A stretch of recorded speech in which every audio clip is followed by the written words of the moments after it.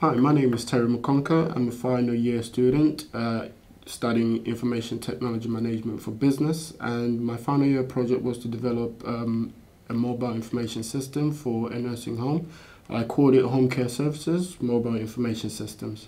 The aim of this project was to develop um, a mobile information system capable of retrieving patient information um, from a central database. Um, it was it was a way of working uh, towards um, establishing a paperless office.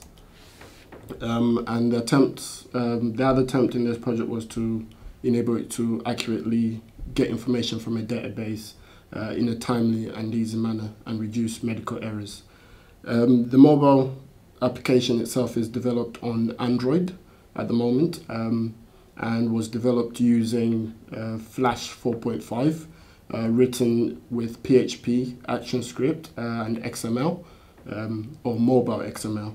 Um, the future of uh, such technologies in nursing homes are upcoming. Uh, it's something that has not yet been implemented uh, in the industry at the moment, but um, talks about such developments are, are talked about in the news of late.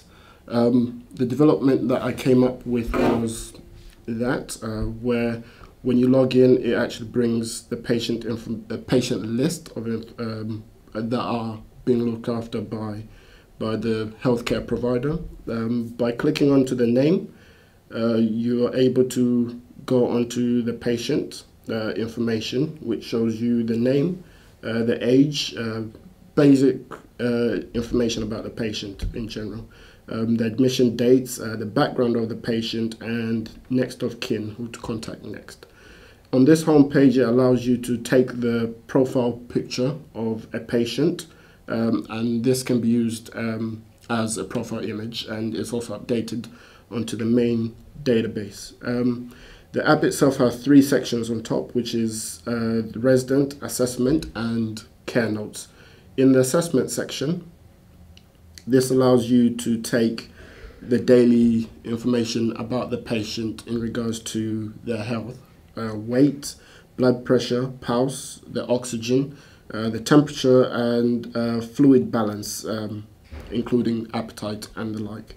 These can be easily logged in, and by just pressing the button at the bottom there, it is updated in, in the database. You have another section where you can log in the patient's physical well-being. So if they have any injuries that are visible to the nursing staff, they can actually log that in.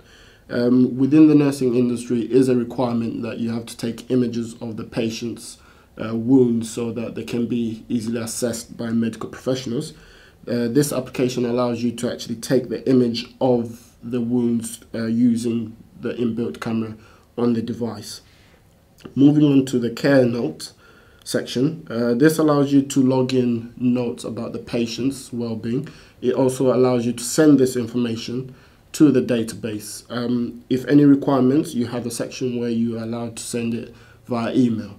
Uh, for health and security reasons, um, that section is normally locked to one email address, so you cannot send information to anybody else other than the pre-programmed email address. The future of such technology is that uh, you can use NFC technology as the mobile devices improve. Um, this will allow care staff to actually just place the device next to the patient's bedside and it will be able to retrieve the patient's information on from a pre-programmed um, name tag of, of the patient. Um, other future developments will be to move uh, this application onto an iOS device or web or a web-based device. Uh, the advantages of such an application is that it reduces medical uh, costs um, in the sense that you can have few uh, professionals that are sat from an office and information sent from multiple devices can be analyzed from one location um, in an office. Uh, the, the other improvement that can be done with such uh, an application is the use of RFIDs in the sense that you'll be able to track uh, the location of the actual patient. Um, this does throw up uh, privacy and security issues, But being in a nursing home and in support of in, in support of the well-being of the patient, it is necessary to be able to know the location of the patient and provide them freedom to actually move about within within the nursing home and be able to to be found if they need to do so. Thank you very much for, for listening to my presentation.